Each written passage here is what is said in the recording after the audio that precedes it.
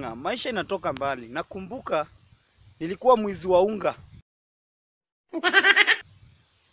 Nilikuwa naiba unga kwa uji.